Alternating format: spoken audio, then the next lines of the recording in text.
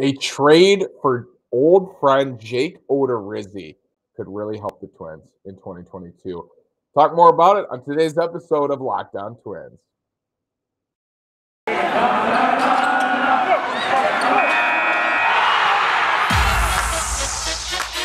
You are Locked On Twins, your daily Minnesota Twins podcast, part of the Locked On Podcast Network, your team every day.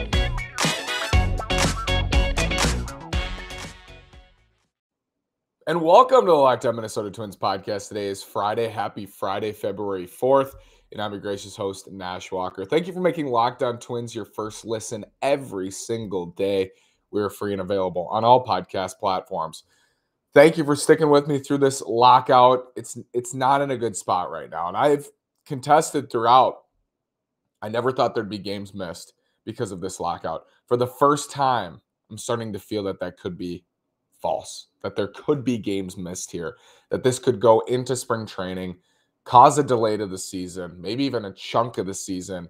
Just doesn't feel like they're anywhere close. Now, I will say I would still predict that there will not be games missed because they're not close until they are, right? These things I think come together very, very fast. I think all of a sudden you could hear, oh, the sides are close. Oh, a deal is done in 48 hours, right? It can happen so fast. It's just making concessions, pressure, leverage, negotiations. It's a deal.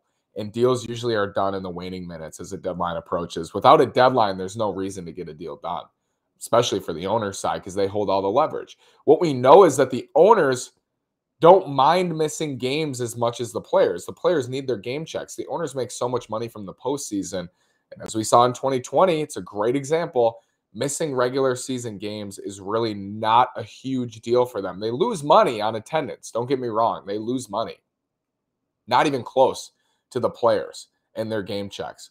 So that's why the owners and Major League Baseball is digging their heels into the sand and they're testing the players. We know this. So there's no reason for them to agree to a deal where they're not getting exactly what they want right now because they know that as the deadline approaches for spring training and opening day and it's it's coming like 10 days I think camps are supposed to open. They know that the players will have to they think break and that's that's what we're looking at right now and you're seeing the players speak out on social media you're seeing a lot of things and it feels like it's really coming to a head in one way or another and, and one way could be we miss games another way could be the owners finally make those concessions as the deadline approaches but we'll see what happens following it keeping an eye on it i also said earlier this offseason i was not going to be a daily negotiations podcast we're, we're focused on how the twins can get better the, the future of the twins i was so sick of it in 2020 i was just i was done with the negotiations but we will keep an eye on it because the season depends on it the opening day depends on it. Twins are supposed to open March 31st in Chicago against the White Sox. That's a month, I guess, two months away, a little less than two months away. So hopefully they get it done. Would love to have a baseball season. Thinking about a baseball season is just is so exciting, and part of that reason is the Twins young starters we talk about all the time, and we're going to continue on today and kind of finish our youth movement in the rotation conversation for now by talking about how that's how is that going to look? How's the youth movement going to look? A couple different ways the Twins could go with this youth movement in 2022 specifically. We're going to look at this summer and how that's going to look. So we've looked at who, we've looked at when, we've looked at why a little bit. This is the case. Why is there a youth movement? We're going to look at how today. How is that going to happen? How is that going to look this summer for the Twins? So we're going to do that I want to talk about a trade idea I wrote about at Twins Daily.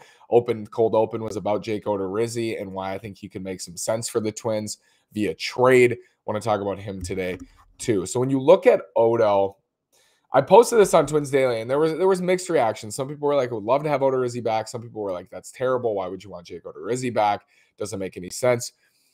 The Twins are in a really interesting spot in the rotation, and, and it can get confusing because it's not it doesn't have to be black or white there can be some nuance i think there's a subset of fans who i totally understand but there's a subset of fans who a complain about where the twins are at in their rotation which 100% i do too but also b when i propose adding Jake Odorizzi, who in his last 1,110 innings pitched has been an above league average starter, they say yuck yuck. Why why would we want Jake Odorizzi?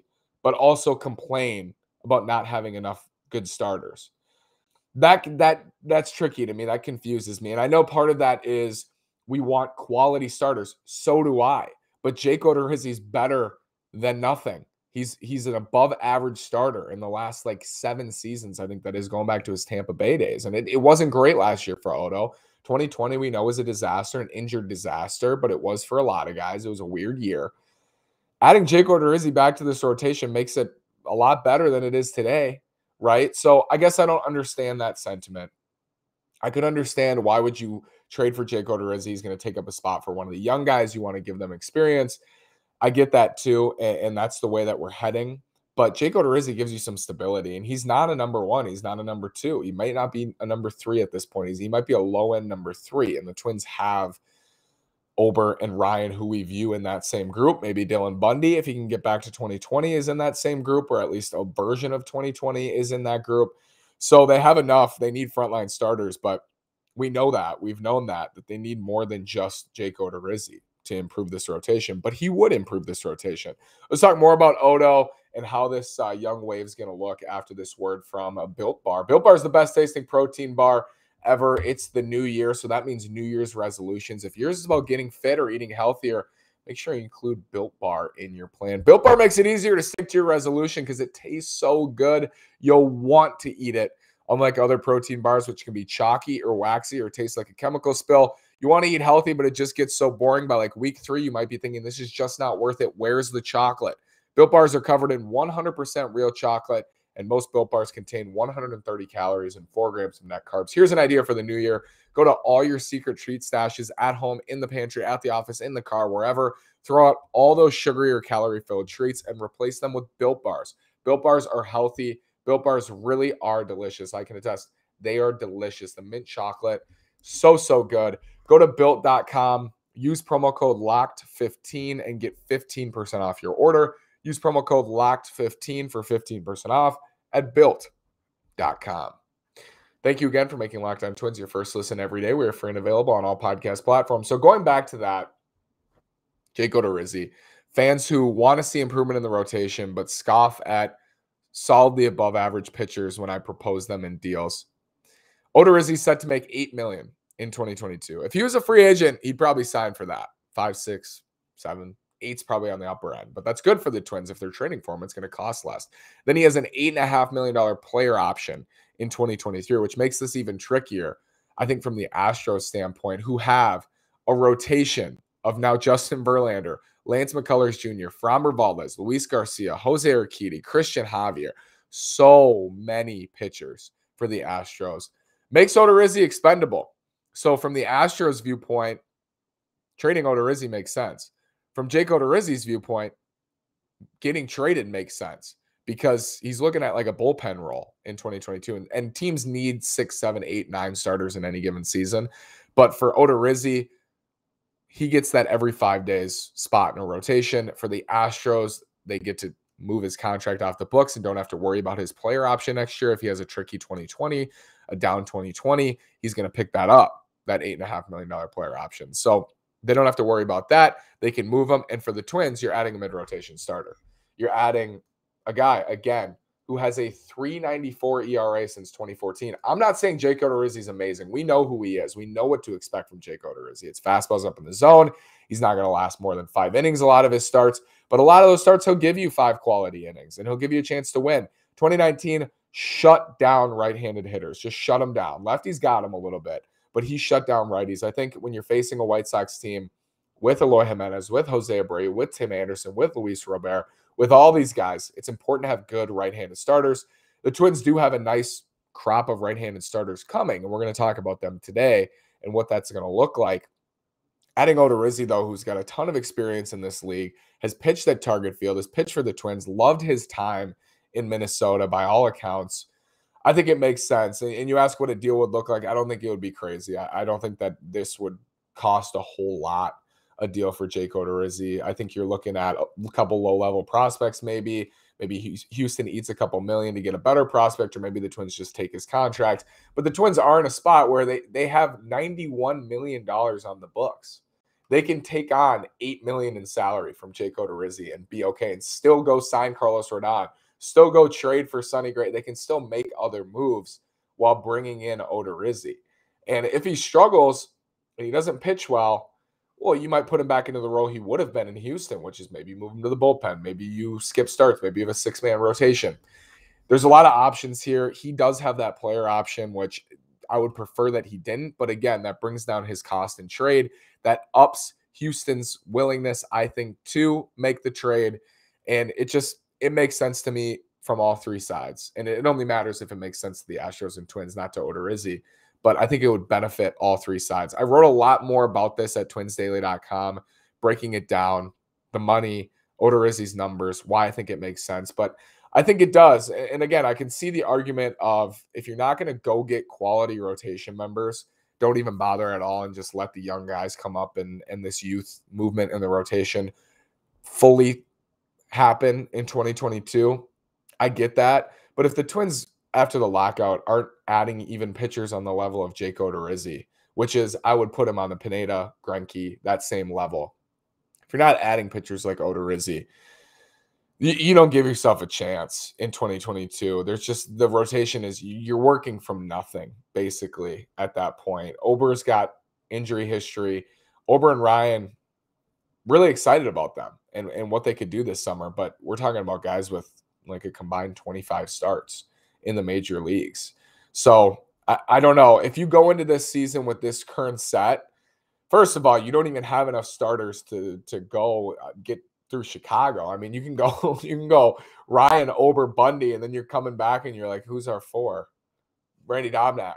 You know, Dobnak's your four. You had a seven plus ERA last year. And I, I think Dobnak bounces back this year. Don't get me wrong, but you you catch my drift. You know you know what we're looking at here, and it's it's really nothing. So if you're not even adding Jake Odorizzi level starters, that that ain't good. And and for this too, I think Odorizzi gives you an opportunity. It, I think the trade would be so much just like signing him as a free agent. And if Odorizzi was a free agent right now, he'd make sense to sign. The Twins would sign Odorizzi for a year and eight million. He's got the player option for eight and a half. And then they would go out and trade for that frontline starter we've been talking about that they need this whole offseason. So what's the difference? Odorizzi's a known commodity. We know him. He likes Minnesota, can get righties out consistently, gonna give you five good innings, most starts. That's more than the Twins can even imagine getting out of their four and five spots in the rotation right now. Um, or at least they're one and two spots, one, two, and three, because maybe Bundy's more of a six than he is a five. Uh, Jake Odorizzi, though, I think makes some sense. Let me know what you think in the comments. Let's talk more about the youth movement and the rotation, what that could look like this summer after this word from Bet Online. Bet Online is the fastest and easiest way to bet on all your favorite sports. Bet Online has you covered this season with more props, odds, and lines than ever before as football continues its march through the playoffs right to the big game next week. BetOnline.net remains the best spot for all your sports scores, podcasts, and news this season. And it's not just football. BetOnline has up to the minute info on pro and college hoops, NHL, boxing, UFC, along with live real time updates of current games. Don't wait to take advantage of all the new amazing offers available for the 2022 season. BetOnline is where the game starts. Again, BetOnline has you covered all season. It's really more props odds, lines than you can even imagine than ever before. Bet online is where the game starts.